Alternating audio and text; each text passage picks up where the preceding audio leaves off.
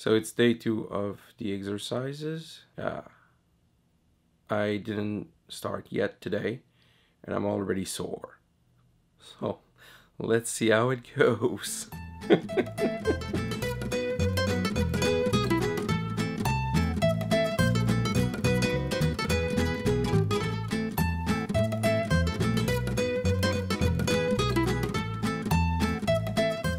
So yesterday I picked up the card for architecture and uh, here it is.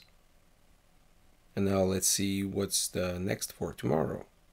Okay, so yesterday I picked up the architecture. So what is it gonna be?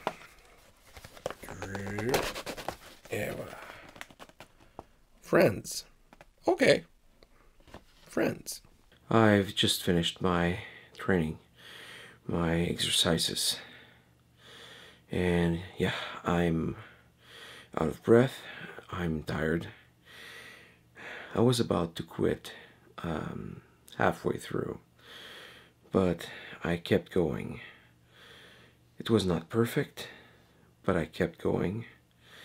And now I went through all the motions and I'm, I'm done for today. It's not a long uh, episode today. I'm just very tired right now and think it's a shower time and then bed and then waking up early tomorrow to finish a few things.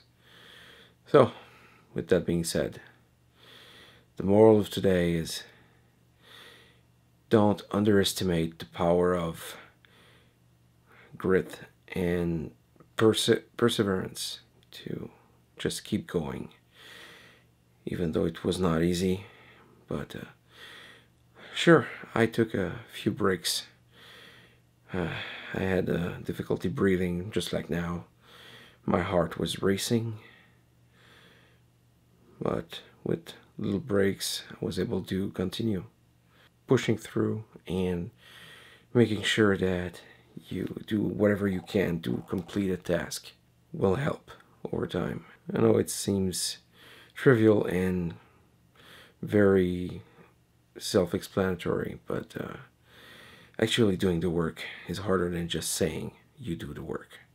I said I would continue, and I continued so far.